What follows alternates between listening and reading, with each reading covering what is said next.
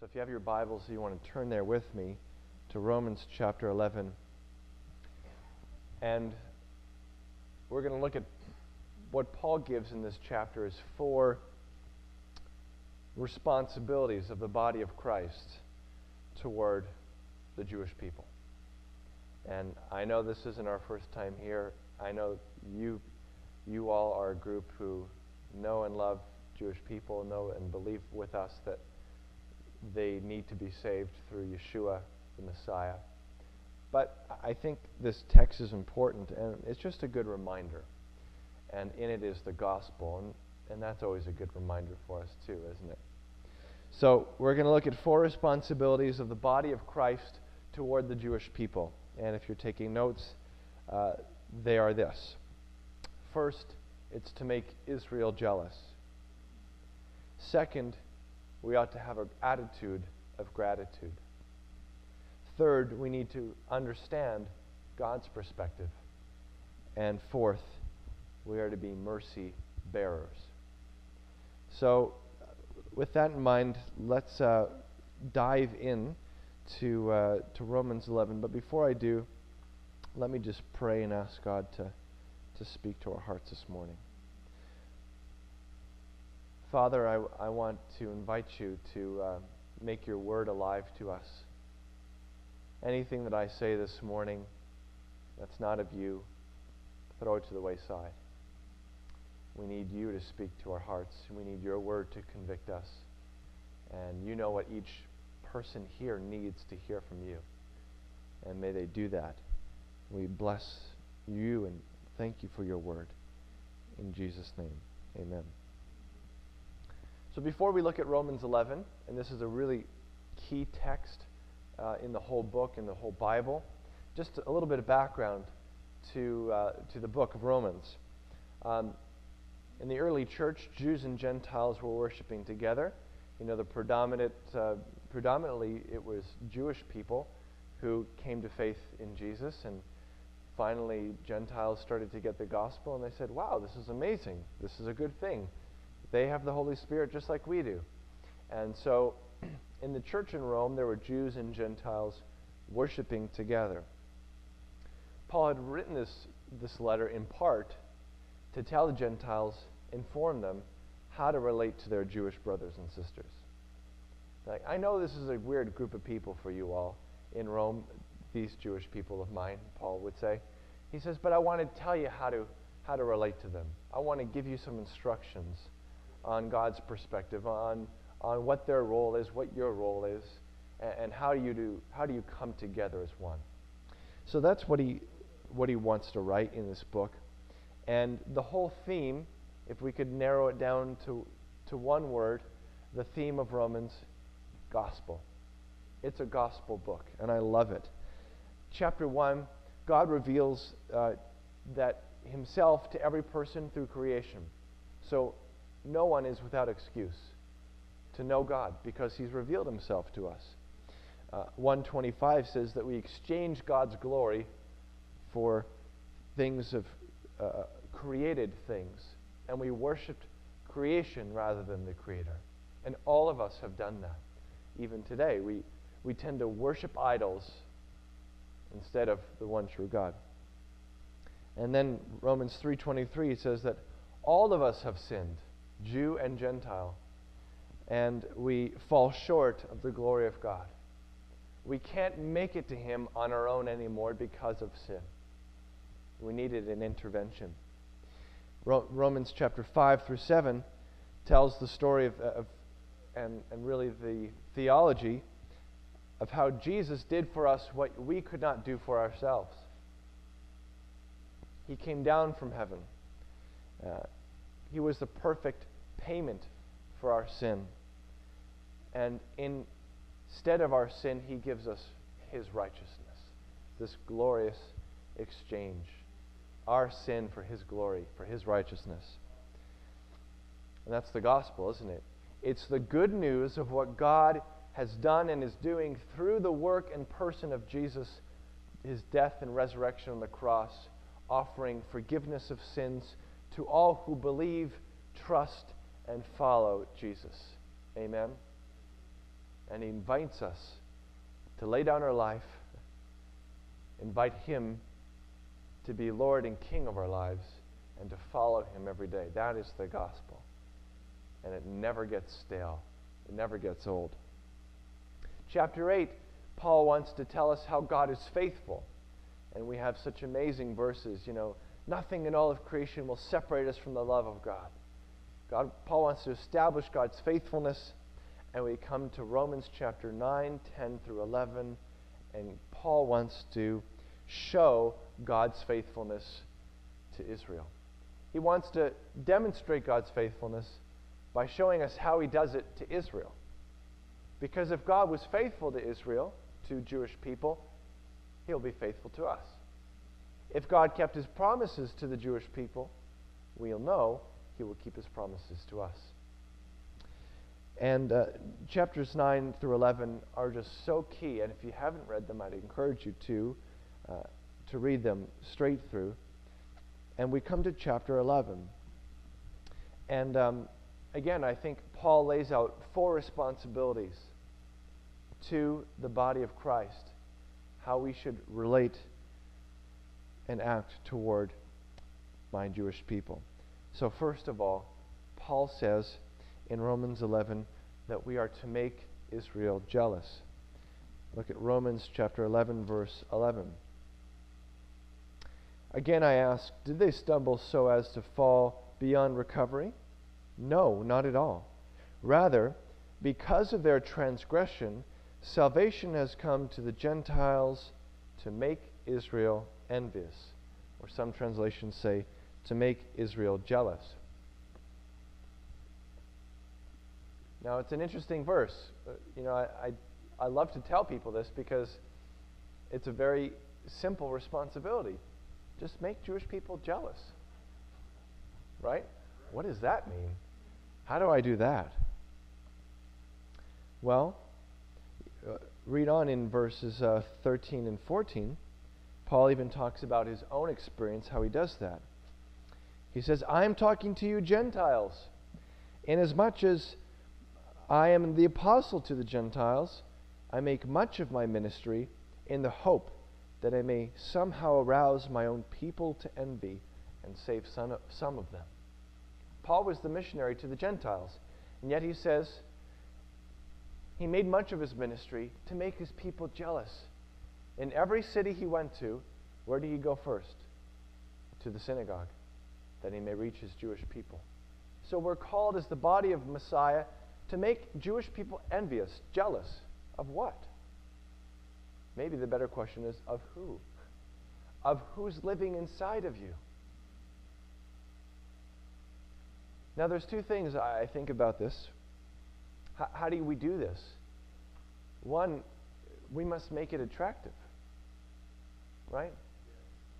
I mean, if the Jesus that people see in you is, is a frumpy, grumpy, complaining Christian, no one's going to want that Jesus. You know, it's been said people don't read their Bibles anymore, they read their Christians. People don't read their Bibles anymore, they read their Christians. Beloved, they're looking at you and I, and they're saying, Is this what it means to follow Jesus? The question is when people look at our lives, are we making it attractive? No, don't get me wrong. I'm not saying put on a, a plastic face and, and be fake.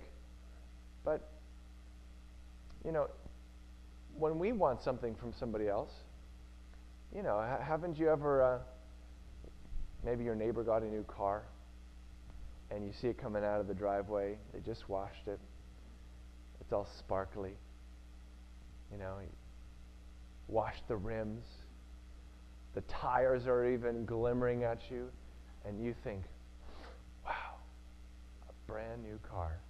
You open the doors, it has that new car smell, you know? You know what I'm talking about. You're like, man, what I wouldn't, what I wouldn't give for that car. I would love that car. Now, your other neighbor has an old beater from the 1980s. He hasn't washed it in years. No one is thinking, oh my goodness, I really want that car.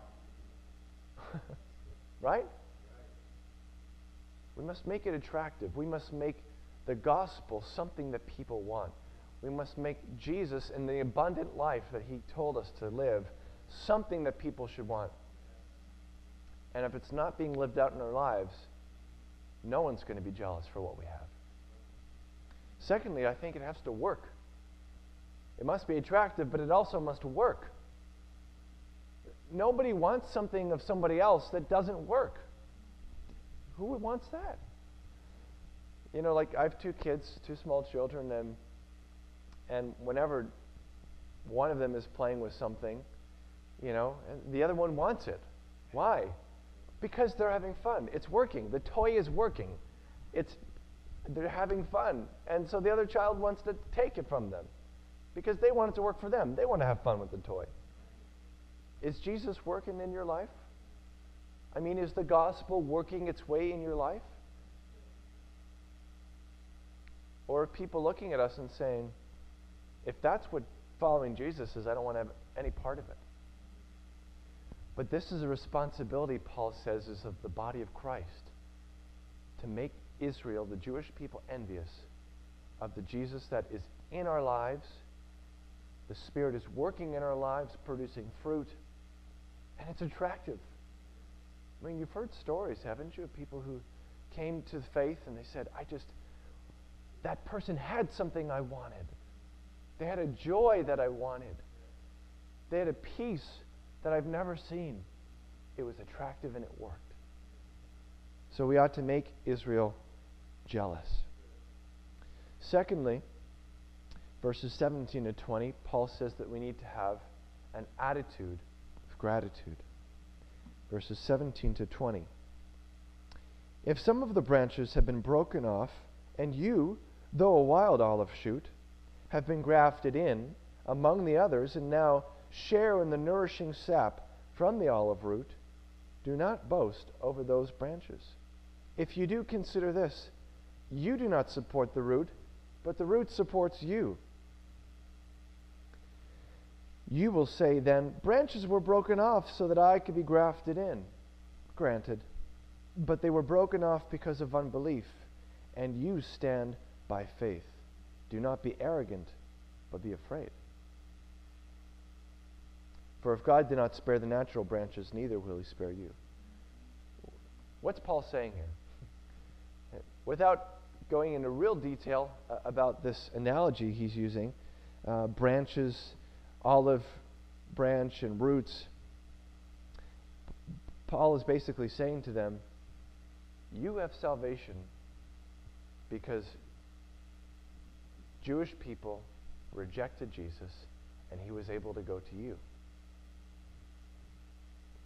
He's using this picture of, a, of an olive tree which is representative of the people of God. And it's a natural, it's a, a wild olive tree. Some of the branches were cut off. Uh, maybe you know something more about agriculture and botany than I do, but you can actually merge two different kinds of trees together.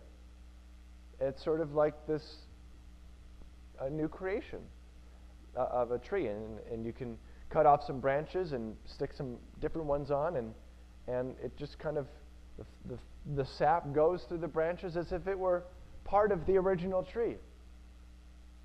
The original tree is, is Israel, God's people. The roots, Paul says, don't boast over the branches because you don't support the root, you're the branch. The root supports the branch. What are the roots, Paul says? Well, previously in, in earlier chapters in Romans, he tells us that the roots are the patriarchs Abraham, Isaac, Jacob. The roots are the scriptures that God gave the Jewish people. The roots are the prophets and the priests. Those are the foundation of our faith in Jesus, aren't they? They're the foundation of the Hebrew scriptures, which are the foundation of the new covenant. So, because some of the branches, the Jewish unbelievers who rejected Jesus, because they were cut off and you were grafted in to this crazy looking tree now, don't boast over the branches that were cut off. don't think you're better because now you're in and they're out. Be grateful. Be grateful. Don't boast. Be grateful.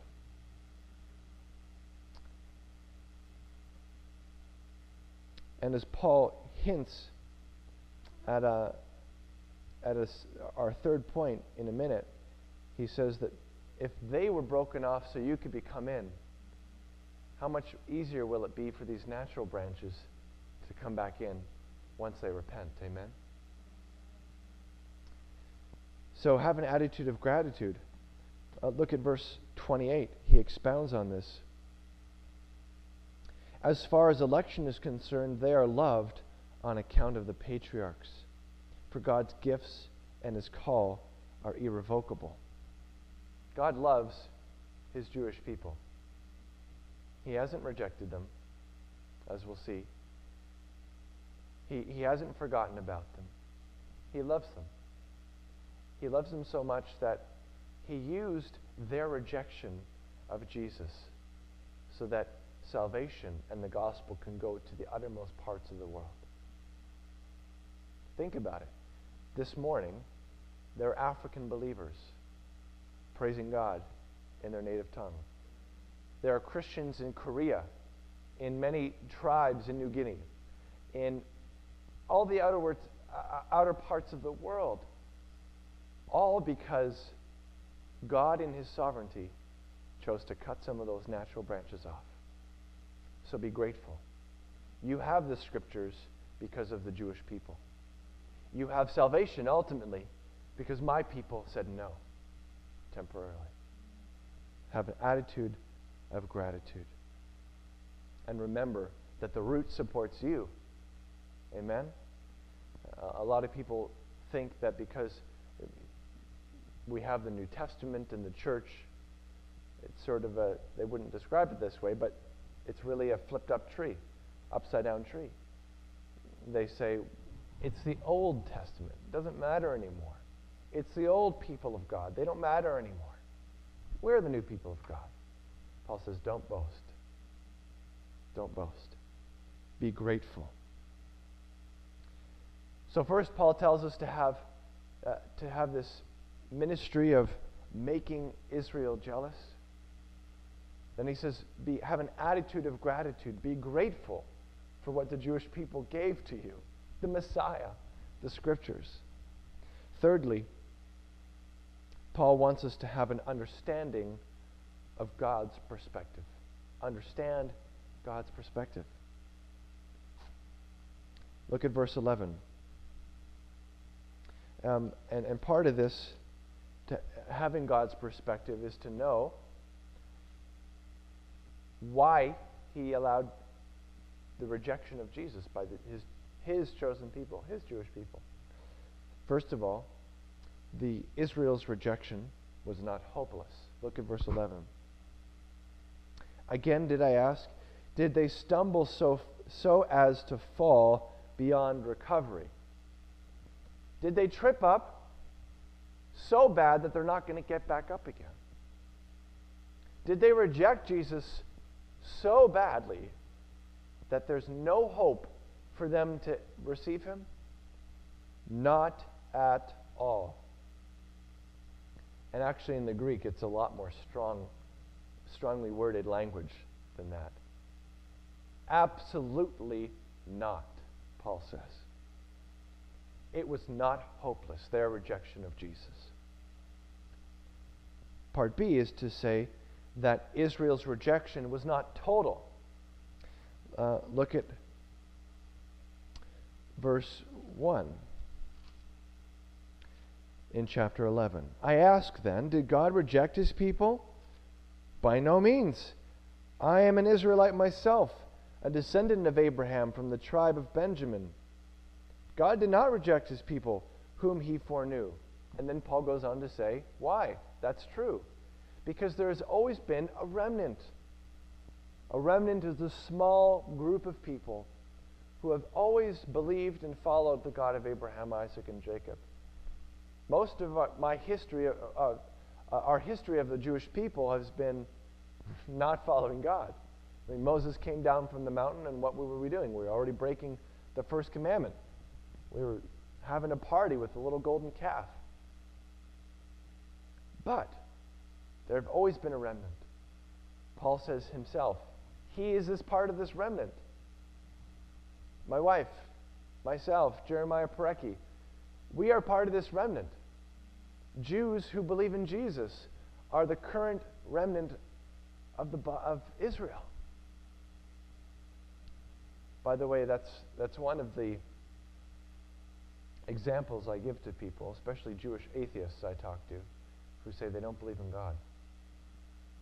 I say, if, we, if God did not exist, you and I would not be identifying ourselves as Jewish today. There would be no state of Israel if there was no God in Israel. So, Israel's rejection of Jesus was not total. In other words, it wasn't everybody, although it was on a national level. As we know, on the day of Pentecost, 3,000 Jewish people came to faith in Jesus. They were the first fruits. All the first believers to believe in Jesus were all Jewish. And for the first couple hundred years, the majority of people were, were Jews who followed Jesus. So, thirdly, Israel's rejection was not only not hopeless, it's not total, it's also not final.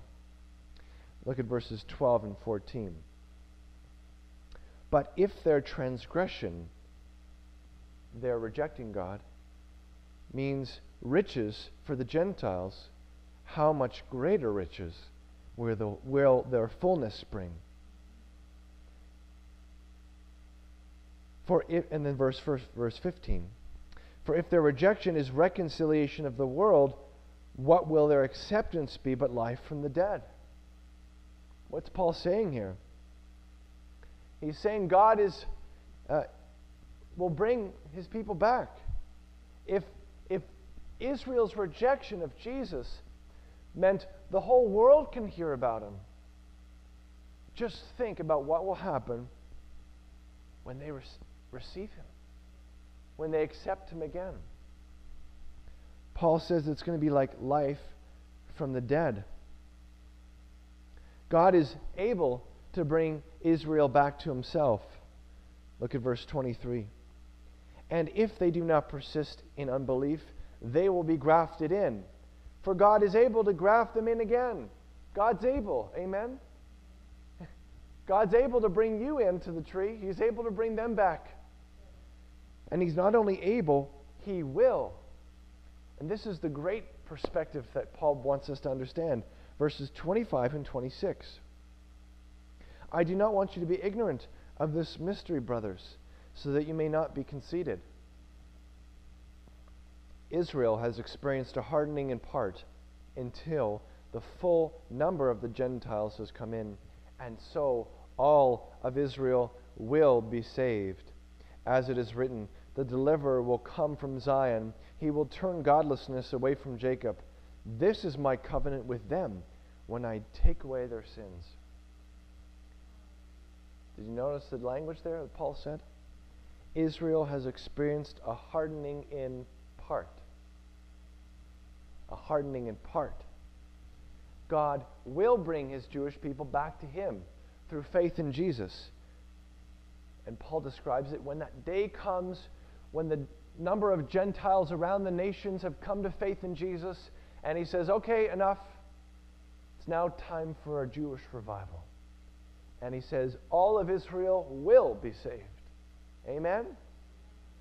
Through Jesus, not through their own ways, not through their good works, but through Jesus. It's this illustration, I see it like this Israel is God's house. And um, God built the house, and they were the first occupants. And, and when they saw Jesus, again on a national level, but not all of them, they opened the door and said, No, thank you. I'm out. And they walked out. They walked out of God's house, but they left the door open so that you and you and you can walk in. Oh, the door's open. Thank you. Thank you. They walk in the house. And why are you in the house? Paul says. Only to tell them and to shout at the streets, Come on in. This is your house. I'm worshiping your Messiah. He's the Jewish Messiah. He came from your people, He came from your land. And it's your job to call my Jewish people back in the house which they walked out of. And Paul says, when they do, when they walk back in, when they come back into God's fold through faith in Jesus, it will be like life from the dead. Beloved, I believe a day is coming, and may it come in our day and age, where we will see a Jewish revival. We've seen a revival of all around the world, but not like the Jewish people have. Actually, since the 1970s, more Jewish people have come to faith in the last 40 years than the previous 2000. It started, but, but it's, just a, it's just the drop, just the tip of the iceberg, what we're going to see. So it's important for us to understand God's perspective, to understand how and why God allowed his Jewish people to reject Jesus. So again, Paul says your responsibility to make Israel jealous, to have an attitude of gratitude, be thankful that they allowed you in the house, have an understanding of God's perspective. Their rejection was temporary, it was in part, and it was for a purpose to come back in again. And fourth, your final responsibility is to be mercy bearers. Look at verses 30 and 32. Just as you, who were at one time disobedient to God, have now received mercy as a result of their disobedience. So they too have now become disobedient in order that they too may now receive mercy as a result of God's mercy to you. For God has bound all men over to disobedience that he may have mercy on them all. That's powerful. You've received mercy because of my Jewish pe- people's disobedience. And again, it's kind of like this boomerang effect. Why did you receive mercy? So that you can bring mercy to the Jewish people. Paul says, they too may now receive mercy. How? Verse 31. As a result of God's mercy to you. What does that look like? How could, how could Jewish people receive mercy as a result of God's mercy to you? It's kind of like being uh, bearers of peace because of the peace that God gives to you. Or, or earlier on, Paul says that God gives us comfort, and we have to comfort others with the comfort we ourselves have it, it implies that we have to give it away. if you are to bring mercy to people, you need to give it away. And you might ask yourself, well, how do I do that? How do I be a mercy bearer? How do the Jewish people receive mercy through the mercy that God's given me? I think there's three ways. First, through your witness. this is one of the most powerful ways if you have the opportunity to talk to a Jewish person, maybe you know somebody, maybe an in law who is, who is Jewish, you have an opportunity to show them mercy through you telling them about Jesus, telling them about your testimony, about what God has done for you, how He's delivered you out of Egypt. Through your direct witness, through your love, your actions, and your words you can be a mercy bearer to Jewish people. Maybe you think, okay, well, maybe I don't know any Jewish people. You can bring mercy to Israel, to Jewish people through your prayers. I'm so grateful how many people newsletters and they read the stories of Jewish people I'm talking to and they say, "Yeah, I pray every day for the peace of Jerusalem." Amen. Pray also that the blinders would come off their eyes. The veil must come down. And it only is going to come down when God brings it down. You could bring mercy to Jewish people through praying for them, praying that God softens their hearts and removes the veil. And thirdly, you can bring mercy to Jewish people by continuing to partner with those of us like myself who are full time missionaries and, and go out on the streets and do the phone calling. Do you understand? Do you realize how important your partnership is? Your prayers for us? You stand with us every time you pray, every time you support us. That's what happens. You become a mercy bearer because of your partnership with us. That's your responsibility. It's, I hope it's not too daunting. I hope it's an encouragement to you because we look forward to that day when all of Israel will be saved. And you can know that you're a part of it, that you stand with us to that end. So, my question this morning to you are you accepting God's invitation? Are you accepting His invitation to participate with Him in His plan, His end time salvation plan for Jewish people? Have you allowed Him to work in your life? Have you given Him free reign? If you haven't, this morning, invite God to be your king again. Let's pray.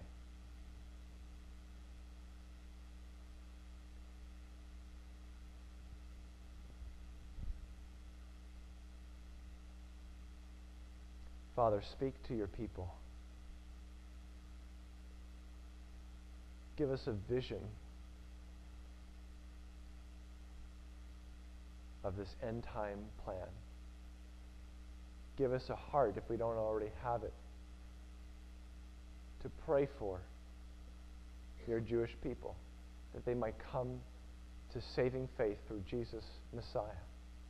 Because without them, like any other people, they are lost.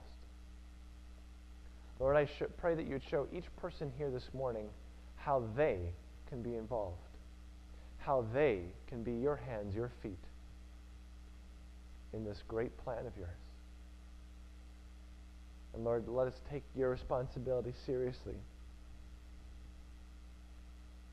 Thank you that you've let us in the door. And the door is still open for Israel today. Show us what we must do. In Jesus' name.